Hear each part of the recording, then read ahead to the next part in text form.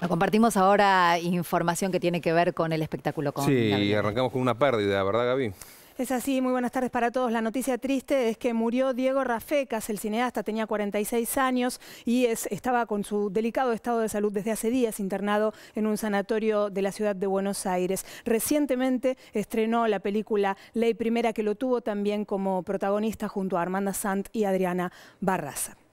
Otras noticias del mundo del cine ahora tienen que ver con que hoy es el día de la apertura de la 19 edición del Festival de Cine Independiente de la ciudad, el Bafisi, que abre a las 7 de la tarde en el Gomont con la proyección de casting. En el mismo lugar y a la misma hora la Asamblea de eh, la Comunidad Audiovisual ha convocado allí a juntarse para amplificar la voz en defensa del cine nacional en el Gomont a las 7. Allí mismo también está invitado el invitado de lujo de esta edición, Nani Moretti, el cineasta que eh, va a estar mañana proyectándose Caro Diario a las 5 y 10 en el Village Recoleta y después a las 7 y 45, a las 8 menos cuarto de la noche, va a estar Nani Moretti mañana en su charla con, con el público. Y también, bueno, para el día de mañana hay distintas proyecciones. En la competencia oficial internacional se va a ver The Wedding Ring de Ramatou Keita, eh, No Intenso Agora de João Moreira Sales, Viejo Calavera de Quiro Russo. Estas son las películas de la competencia oficial internacional. Fuera de competencia,